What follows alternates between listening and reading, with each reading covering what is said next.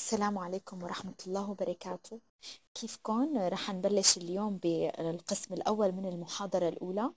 اليوم رح نحكي عن الطرق التقليدية لقياس التكاليف بالإضافة لشرح مختصر لأهم أساليب التكلفة الحديثة. طبعا بالمحاضرات القادمة رح نبلش آه، نحكي عن كل أسلوب لوحده. هلأ رح نبلش بالطرق التقليدية لقياس التكاليف.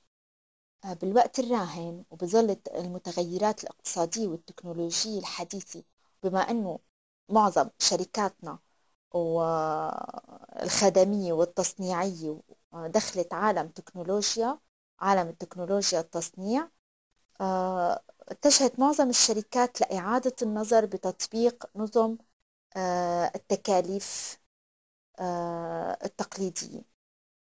لأنه نظم التكاليف التقليدية آه، لم تعد ملائمة آه، لم يعد تطبيقها ملائم آه، في معظم شركاتنا لأنه تم تصميمها ببيئة كانت الأجور بتمثل الجزء الأكبر من تكاليف الإنتاج المباشر.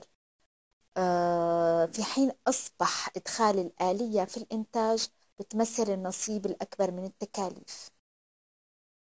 هلا معظم نظريات التكاليف التقليدية تفترض دورات إنتاجية طويلة لمنتج نمطي واحد ما بتتغير مواصفاته أو خصائصه.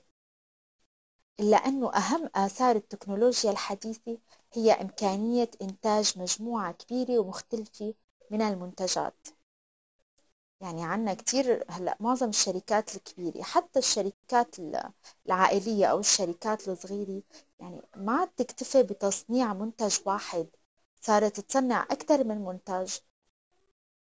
كرمال هيك تم ابتكار طرق وأدوات جديدة بتلائم التطورات آه، وبتعمل من أجل توفير معلومات دقيقة لمتخذي القرارات.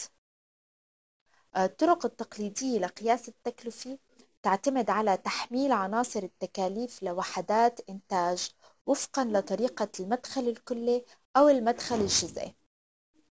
وبالطريقتين بتم تصنيف التكاليف لثابتة ومتغيرة. التكاليف الثابتة كلياتنا بنعرف هي الرواتب وأجور العاملين و... وهيك شغلات. أما التكاليف المتغيرة هي اللي, بتخ... اللي بتكون قريبة أكثر لتكاليف الإنتاج أو تكاليف التصنيع.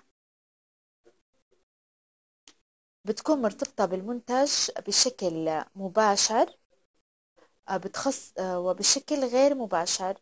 هلأ بشكل مباشر بتخص المنتج وبشكل غير مباشر بتخص المنشأة ككل. وبتم احتساب التكلفة عن طريق تجميع التكاليف وفقا للأوامر الإنتاجية أو المراحل الإنتاجية. هلأ نظم التكاليف التقليدية كمان تسمح بوجود نسب طفيفة من المسموحات لكل من المخلفات والعوادم بالوقت اللي نحن هلأ لازم الهدر يكون صفر. ضمن معايير الجودة العالمية المفروض أنه الجودة الهدر أو العوادم والمخلفات تكون صفر. هلأ طرق كمان الطرق التقليدية بتسمح باستيعاب الطاقة الكلية للتكاليف غير المباشرة وبيعمل آه، المدخل التقليدي للوصول للهدف وعدم تجاوزه وبيركز على عدم انحراف السعر ويسعى وراء العروض المنخفضة. هلأ هيك بنكون انتهينا من القسم الأول.